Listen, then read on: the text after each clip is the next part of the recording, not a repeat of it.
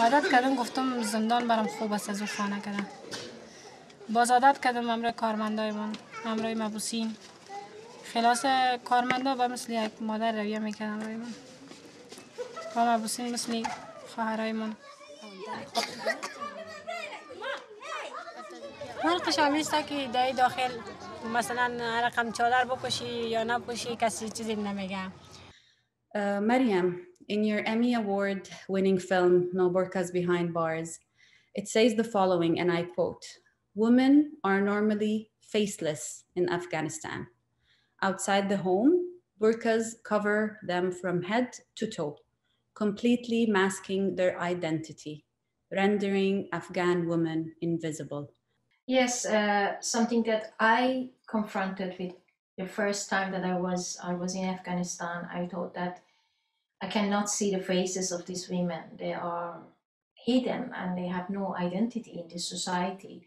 The first thing is that you always think who is behind this burqa, what are they thinking, and how they look like, and you try to find the codes in the society that talk to you about the identity of these women. Sometimes they want to lose their identity because they don't want to be themselves as a woman. They don't want to be seen. You know, this is many of them that they in many villages or small towns we see that most of the women have burqa because it's a kind of protection. But this is not their choice. This is not that they like to have them. This is just better for them. It's like a shield.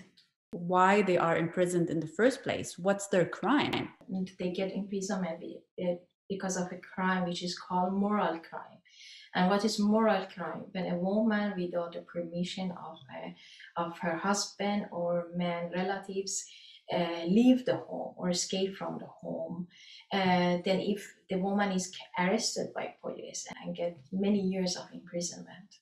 I realized that these women even that they are living inside the prison they're happier there because um, it shows that this prison they have each other and they were the most i mean the smartest intellectual women in afghanistan because they were aware about their rights and they were they didn't let that they violence men you know do whatever they want to them. And many of them they just escape to do not be killed. And it's so ironic that exactly what you said, that they feel more free and liberated while they are behind bars rather than being actually outside. And it's why that the film is no, uh, no burqas behind bars, but no burqa is a kind of uh, symbol of another prison for these women because many of women they don't want to even wear burqa. But this is even that in Afghanistan there is no rule that you have to put burqa.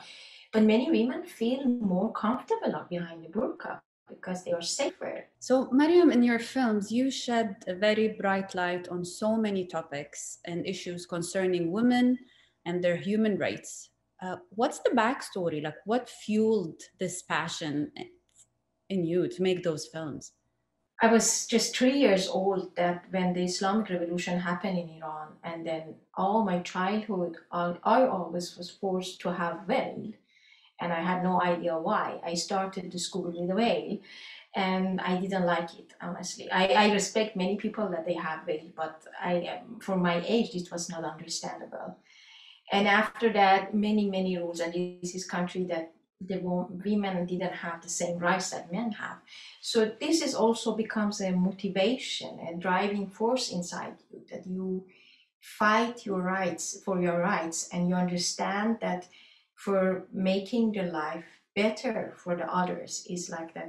Um, you're totally aware because if you have a tough life yourself, if you are living in in um, your childhood or when you're youth or when you grow up, you, it's not in freedom you understand the value of freedom, especially as a woman, then this question is always in your mind. Appreciate at the same time that I was experiencing things that give gave me a perspective to fight for other people, better life for other people. And if I can be a voice for them, if I can be a tool to give their message, why not? And finally, I just want to ask you what would you say to the women who are deprived of their basic human rights? And how can we acknowledge them today and acknowledge their strength to survive? I just say that they have they are powerful. They can change. They can change, you know, little by little. Just believe to that and support each other. This is what I learned. I learned from these women